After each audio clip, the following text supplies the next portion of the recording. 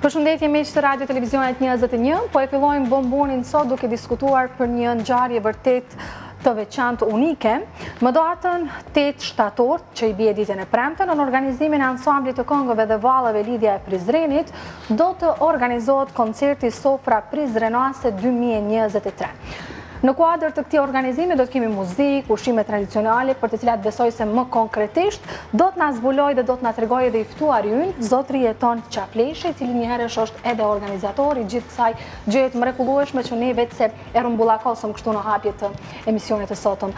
Zotri Qafleshi, faleminderit shumë për kohën. Faleminderit edhe juve për ftesën.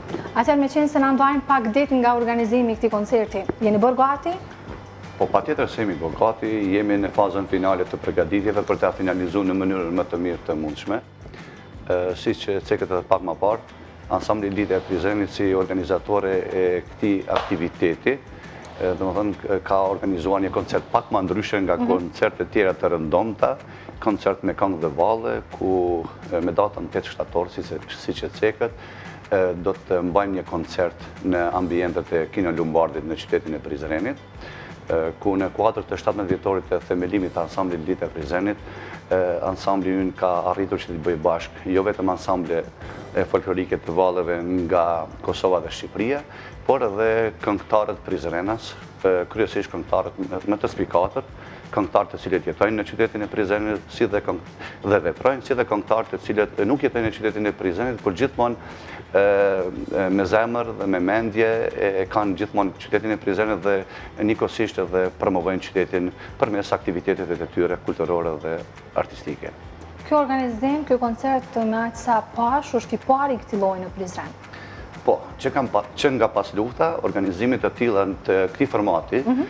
nuk kemi pasur, pasi që krahas këngëve dhe valleve dhe një organizimi jashtëzakonisht të mirë, ku së bashku me kryesinë e ansamblit dhe me të gjithë vullnetarët e ansamblit, jemi përpjekur që të bëjmë një organizim pak më ndryshe, ku pas përfundimit të koncertit, të gjithë të pranishmit, të gjithë të pranishmit, edhe publiku, edhe pjesëmarrësit, por edhe njerëz të tjerë të cilët janë prezentë, do të kenë mundësi që të shijojnë gatimet tradicionale mhm. të qytetit të Prizrenit, ose ushqime tradicionale. E që janë të mrekullueshme. Po, duke filluar nga flia, mhm. pitja, petullat dhe e deri te ëmbëlsirat, siç janë trileqe, bakllavaja, sheqerpare, siç e quajmë ne në Prizren, ushqime këto të cilët Kryesisht janë përgatitur nga familjarët e anëtarëve të ansamblit, edhe qytetarët e Prizrenit si dhe ëmbëltorët,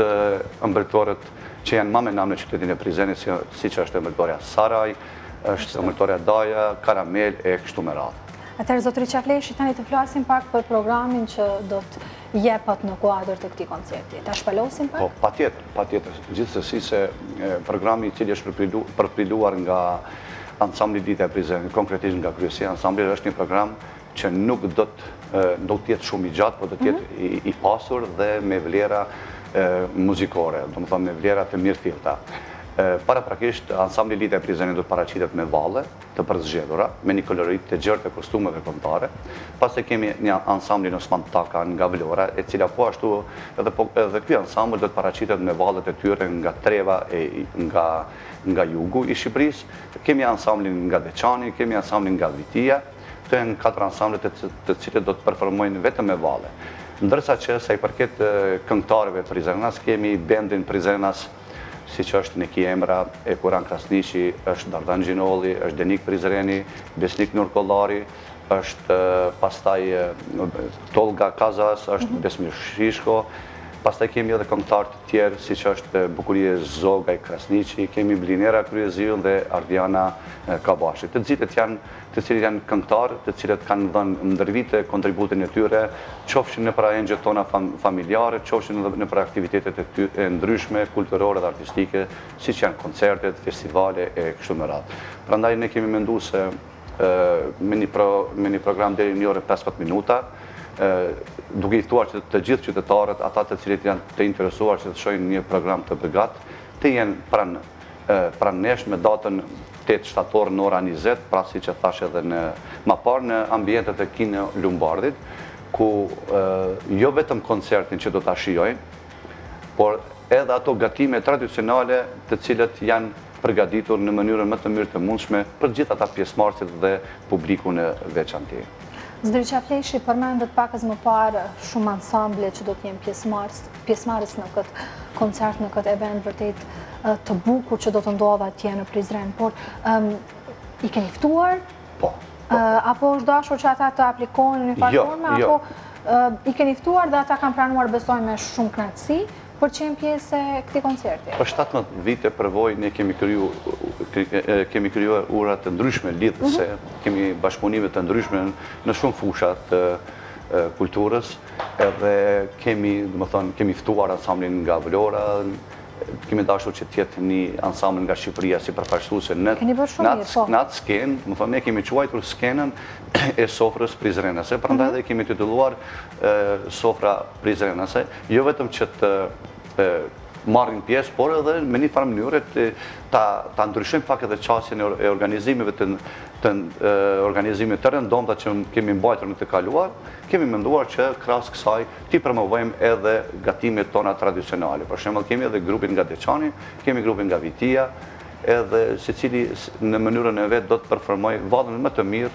në mënyrë që besoj që edhe jam shumë i bindur se ajo mbrëmje do të jetë një spektakël i vërtetë. Të gjithë ata që duan të vijnë dhe t'i shijojnë këto ushqime dhe natyrisht ta shijojnë edhe muzikën e mrekullueshme, më pas edhe këto paraqitjet e ansambleve, valleve, grupeve artistike, A duhet që të rezervojnë një vend fillimisht apo mendoni se ka hapësirë të mjaftueshme në mënyrë që të gjithë ata që duan të jenë pjesë e këtij koncerti të jenë aty? Meqenëse është ambienti i cili planifikohet të mbahet koncerti është paksa ma i kufizuar me diku treqind e pesëdhjetë karrige, duke i përjashtuar edhe personat që dojnë të qëndrojnë në këmbë e tjera e tjera.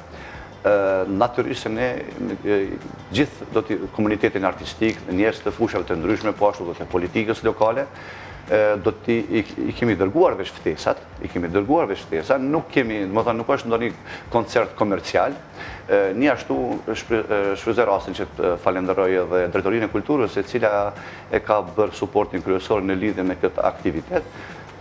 Në anën tjetër ne po planifikojmë që të kemi një publik me bollëk, por edhe të tjerë nëse duan që të jenë pjesë e atij aktivitetit, që të interesohen dhe t'ju japim ftesa në mënyrë që me ftesat ata të jenë prezent me ato ftesa. Për momentin, pothuajse të gjitha ftesat i kemi shpërndarë, por nuk përjashtohet mundësia që edhe edhe pak ftesa të shpërndajmë dhe të vijnë ta shijojnë mbrëmjen jo vetëm këngë dhe valle, por edhe me ato gatime tradicionale, natyrisht se ne nuk mund t'i ngopim apetitet e të gjithëve, po secili diçka mund të provojë, mund të shijojë dhe mund të jep një vlerësim dhe në fund po besoj që të gjithë kanë me u nda të kënaqur. Po ndonjë sfidë, vështirësi keni hasur gjatë këtyre ditëve, sepse po flasim për një koncert të përmasave më të mëdha, jo të atyre koncerteve që jemi mësuar që t'i shohim vazhdimisht.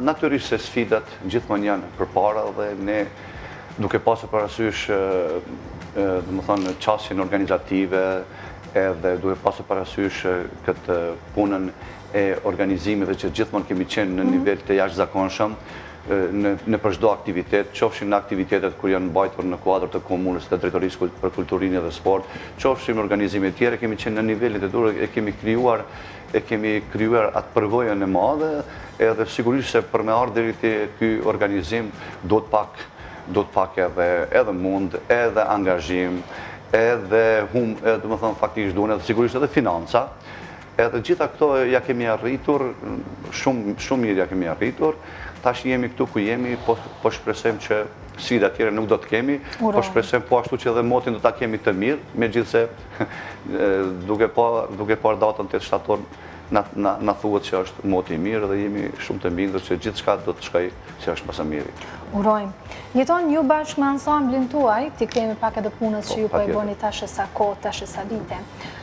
keni shëtitur botën ne këtu në Bombon, por edhe në programet e tjera të radio televizionit 21, kemi diskutuar, qoftë në mënyrë virtuale, por edhe në studio, Ku kemi prezentuar punën që ju po e bëni tash e sa vite? Si po shkon puna?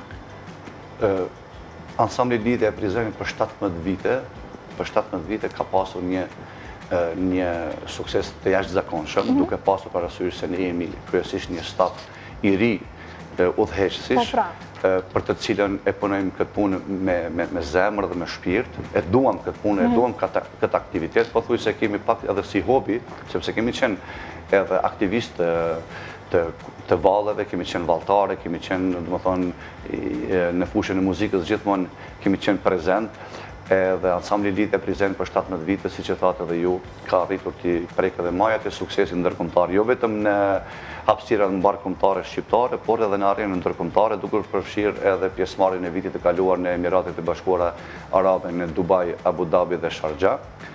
Pastaj edhe para dy muaj u kthyem edhe nga një festival shumë i madh ndërkombëtar në Bursa të Republikës së Turqisë. Pa dashur të, domethënë, posa ta përfundojmë këtë koncert, me datën njëzet do të nisim edhe në festivalin tjetër ballkanik në Izmir, i cili është festival i cili organizohet nga komuna e Izmirit. Dhe në fakt kemi edhe disa festivale tjera që do të paraqitem, siç është edhe festivali i shoqërive kulturore artistike në Kavajë që organizohet çdo dy vite, pastaj edhe në festivalin tipologjik të Lushnjës që po ashtu edhe ajo organizohet çdo vit. Edhe në ndërkohë që në fund të këtij viti apo në fillim të muajit dhjetor gjithmonë ne si çdo vjet e përmbyllim me një dhe ose dy koncerte të mëdhaja me grupmosha dhe më të rritura duke duke përmbyllur një vit të suksesshëm kalendarik Me kangë dhe valle popullore, do të thotë me orkestër, me këngëtarë, me orkestër burimore e kështu me radhë, dhe gjithmonë kështu e kemi e kemi vazhduar, në kontinuitet të punës, gjithmonë kemi qenë të suksesshëm, kemi qenë serioz, të sinqertë dhe gjithmonë ia kemi dalë. Dhe urojmë që ta përfundoni edhe këtë vit duke pasur suksese të njëpasnjëshme dhe ju uroj suksese po ashtu edhe në koncertin, organizimin që ju do e bëni të premten. duke ju uruar që çdo gjë të shkojë mirë e mbarë në mënyrën që ju vetë e keni planifikuar. Po, faleminderit shumë, po edhe më mbetet diçka ne zakonisht po. ansambli Lidhja e Prizrenit çdo herë në muajin shtator hap thirrjen e re publike për pranimin e anëtarëve të rinj me grupmosha, duke filluar nga mosha 7 vjeç, 18, 20 e kështu me radhë, domethënë thjesht gjithmonë ne freskojmë Freskojmë ansamblin me gjeneratat e reja, freskojmë, punojmë në mënyrë sistematike dhe dita ditës po na afron, gjithmonë edhe pse antarësia aktualisht është rreth 200 antarë, antarësia dhe dita ditës po na afron edhe, po edhe ne po ua mundësojmë sepse jemi fut, në jemi fut në botën e tyre dhe tani jemi krenar që gjithmonë kur i përgadisim gjeneratat e reja, i përgadisim në mënyrën më të mirë të mundshme që ata në të ardhmen na promovojnë edhe të na prezantojnë qoftë në arenën vendore, po ashtu edhe në arenën ndërkombëtare. Faleminderit shumë për juve, edhe juve ju dëshirojmë suksese. Faleminderit shumë Jeton, kënaqësi që ju pata sot. Faleminderit, faleminderit.